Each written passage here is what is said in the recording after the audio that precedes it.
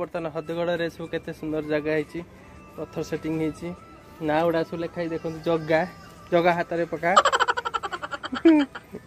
জগা হাতরে পকা জগা লেখা হয়েছি আমছু বুলাবুলি সরে